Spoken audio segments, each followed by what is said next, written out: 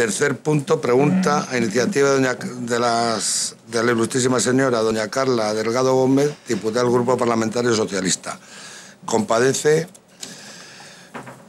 para dar contestación a la pregunta el representante del Gobierno, el ilustrísimo señor don Ignacio González Velayo, consejero delegado de Metro. Bienvenido también y doña Carla tiene la palabra.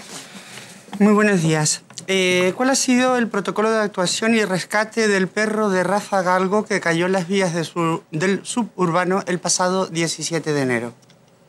Muchas gracias, señor González Velayo. Muchas gracias, señor presidente. Señorías, a continuación puntualizaré en orden cronológico los detalles del desarrollo de los acontecimientos, así como los protocolos puestos en marcha por Metro de Madrid durante el incidente. A las 16.21 horas del pasado 17 de enero, un técnico de la línea de Metro de Madrid comunica al inspector del puesto de mando la presencia de un perro en la vía de la estación de Laguna en la línea 6. En ese momento se procede a aplicar el protocolo definido en la ITPS 1315, que establece circulación de trenes con precaución entre las estaciones de Lucero y Carpetana.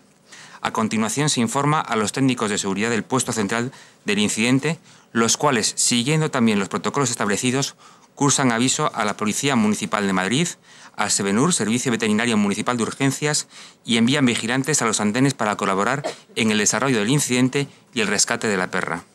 Siguiendo la aplicación del protocolo contenido en la ITPS 1304, informar a estamentos externos, desde el puesto central se comunica el incidente al CIAC, Centro Interactivo de Atención al Cliente, y también al Departamento de Comunicación Interna de Metro de Madrid. A continuación, se informa a los viajeros de los trenes a través de los conductores y a los viajeros de las estaciones por megafonía centralizada, aplicando el protocolo definido en la IT PS 1302. Incidencia en circulación, motivo, alcance y duración. A las 16.26 horas, desde el puesto de mando se observa que la perra se encuentra cambiando de dirección constantemente entre las estaciones de Laguna y Capetana, por lo que se establece aplicar el protocolo ITPS 1314, acceso a la vía en hora de servicio detenido, deteniendo la circulación para permitir al técnico de línea acceder a la plataforma de vía e intentar rescatar al animal sin éxito.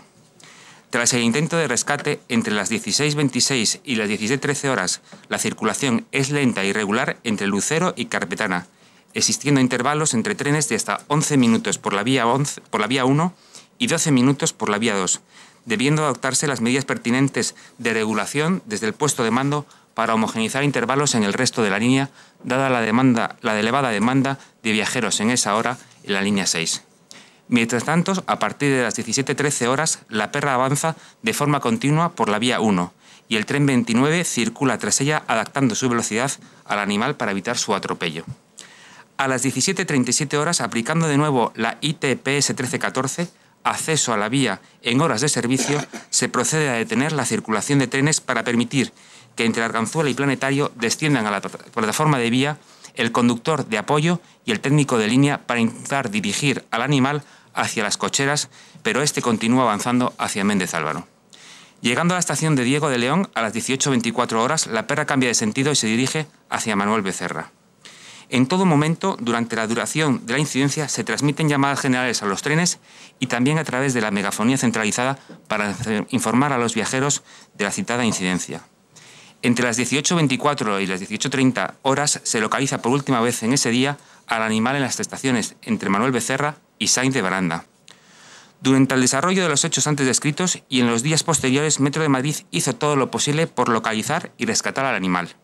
Así, en la noche del jueves 17, de, 17 a viernes 18 de enero, se organizó una bajada a la vía junto a una persona que dijo ser la dueña del perro. Se revisó el túnel entre las estaciones de Pacífico y San de Baranda y también el túnel de enlace entre la línea 9 por si el animal hubiera cambiado de línea, pero este no fue detectado. La presunta dueña informó más adelante que su perro no correspondía a la descripción del que se encontraba en la red de metro, por lo que abandonó la búsqueda. En la noche del viernes 18 al sábado 19 de enero, la perra vuelve a ser avistada por personal de limpieza en la estación de Conde de Casal.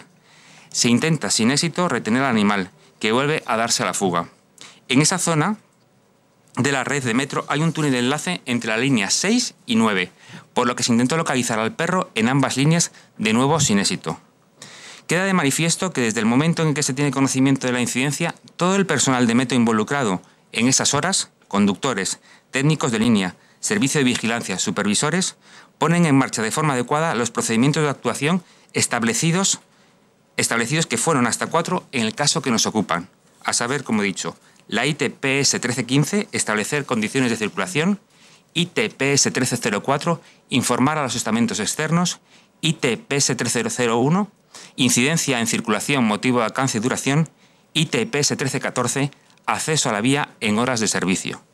Si me permiten sus señorías, me gustaría añadir que las vías de tren, más en un horario de servicio, son un entorno peligroso, proclive a producirse incidentes o accidentes. Andar por ellas es una tarea reservada a personal conocedor del modo óptimo de actuación. Por otro lado, cualquier incidencia en la red genera retrasos en los trenes, con los consiguientes inconvenientes e incomodidades para los clientes de metro. En este caso concreto, que como ha visto y se ha quedado acreditado, se paró en varias ocasiones la circulación, se provocaron aglomeraciones de viajeros y hubo que proceder a desalojos de varios trenes, al que muchos viajeros se negaron llegando incluso a accionar tiradores y timbre de alarma, provocando una situación tensa como así lo acreditan las imágenes entregadas a la Guardia Civil. No quiero finalizar mi comparecencia sin hacer constar a sus señorías que si de algo puede hacer gala Metro de Madrid y sus empleados es que más de los 90 años de, la historia de la compañía, su vocación de servicio y total compromiso con los clientes, con el medio ambiente y con la sociedad en general. Muchas gracias. Muchas gracias. Tiene la palabra doña Carla Delgado. Un tiempo de cinco minutos. Eh, muchas gracias. Bueno, si algo me ha ido quedando claro es que hay muchas ITPS, pero no hay ningún protocolo de rescate de animales propiamente dicho. Bueno, antes que nada quiero agradecer la presencia en esta comisión de la abogada de la Sociedad Protectora de Animales y Plantas de Madrid, doña Arancha San de Madrid, a la presidenta de la Protectora de Animales Más Vida, doña Irene Moya Merino, y a la presidenta de la Protectora de Animales Justicia Animal, Mati Cubillo. Eh, también, también en otro orden de cosas, me gustaría felicitar, por supuesto, a don Rubén Gutiérrez, el policía municipal que evitó que una mujer fuera arrollada en el vagón de metro al caer a las vías del tren tras sufrir un desmayo. Acción encomiable, rápida y, por supuesto, eficaz. Dicho esto y centrándonos en la pregunta que hoy nos trae, decirle a usted que en, que en cambio no hubo ningún protocolo de actuación y rescate propiamente dicho para animales, para lucha, en este caso, nombre con el que han bautizado a la galga las y los activistas contra el maltrato animal. A pesar de lo que han dicho ustedes, de lo que ha dicho usted, Metro Madrid, ante todo lo sucedido, que habéis informado y lo ha, repetido usted, que lamentaba que el animal hubiese aparecido sin vida, asegurando que hicieron todo lo posible por rescatarla y que incluso su personal bajó a las vías, incluso, que hoy no lo ha dicho, será tal vez porque tiene a, a las protectoras de animales aquí delante, que dejaron ustedes pasar a una protectora de animales y bajar a las vías del tren cosa que no es verdad, que no es verdad y que dijeron en los medios de comunicación. Ante todo esto, las protectoras de animales dicen que la dirección del suburbano, o sea, ustedes, mienten escandalosamente. Y me remito a palabras textuales del comunicado de prensa, que son unos, con perdón, sinvergüenzas sin sensibilidad ninguna porque es falso de principio a fin que ustedes dejaran entrar a ninguna asociación. De hecho, durante varios días se les pidió a ustedes que al finalizar el servicio del metro les dejaran pasar a ellos y a ellas para poder dejar una jaula trampa en un lugar que no obstaculizara el correspondiente trabajo nocturno de los trenes. A lo que la dirección del metro, o sea, ustedes, se negaron por lo que nos planteamos la siguiente pregunta. ¿Qué más les daba a ustedes si el servicio de metro estaba cerrado y no interrumpía para nada el normal funcionamiento de los viajes? Dejar pasar a las protectoras de animales y dejarles poner jaulas trampas. Y ustedes, incluso a eso, se lo imposibilitaron. Aparte de todos los ITPS que me han nombrado, ustedes le negaron a las protectoras bajar.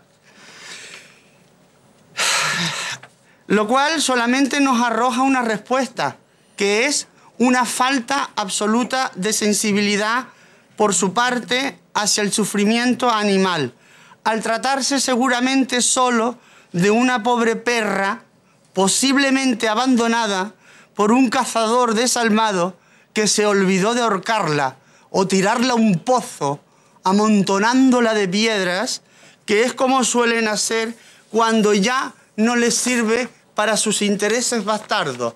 Así terminan las galgas en toda España.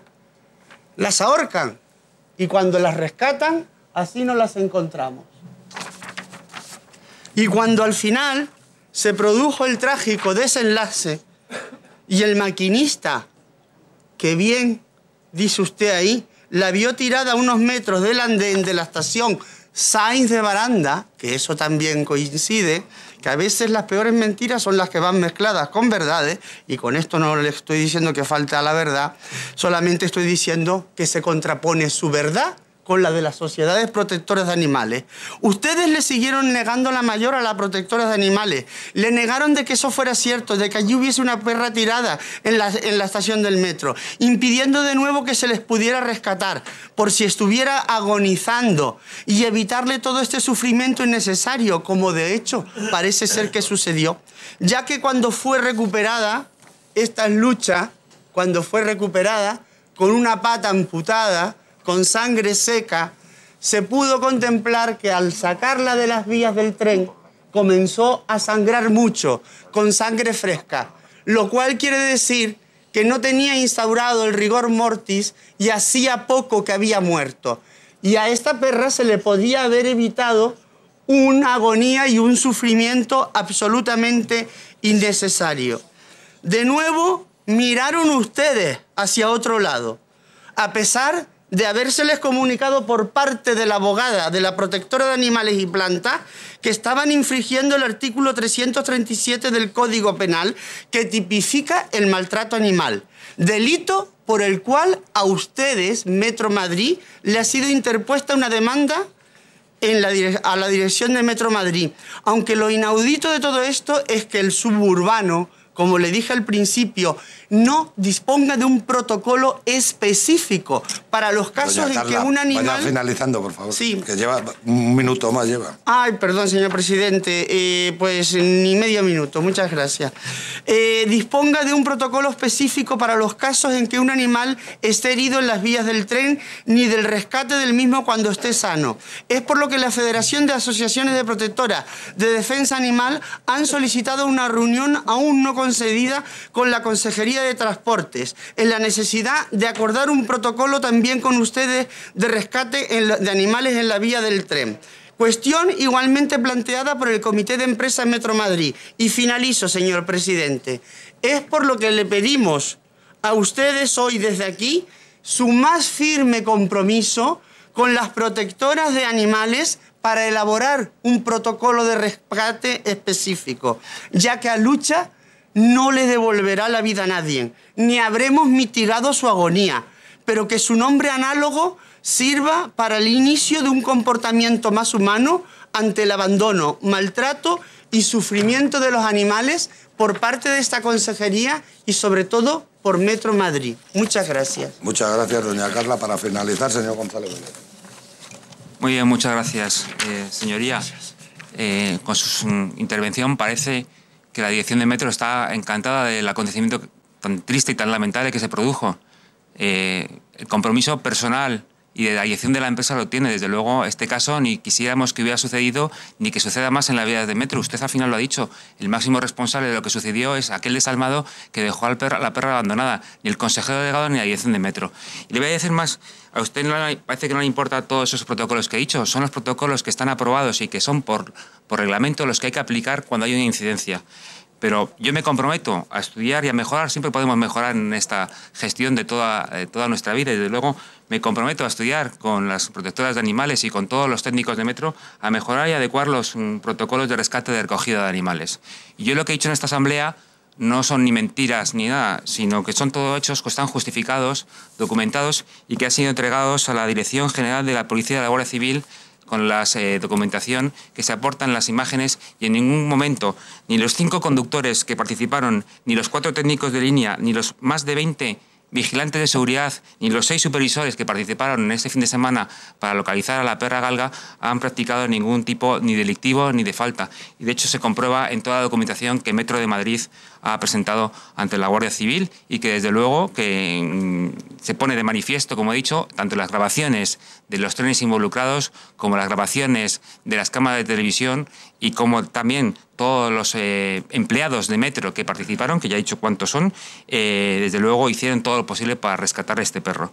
Pero desde luego vuelvo a, ponerme a disposición de las protectoras de animales y a eh, poder tener un protocolo adecuado para la recogida de animales. Pero quiero volver a decir que los empleados de Metro que trabajaron durante la noche del viernes, sábado y domingo en el rescate de, la perra participaron de forma coordinada y de forma adecuada. Gracias, señor González Velayo. Cuarto punto, ruegos y preguntas. Nada, pues se levanta la sesión. A los portavoces.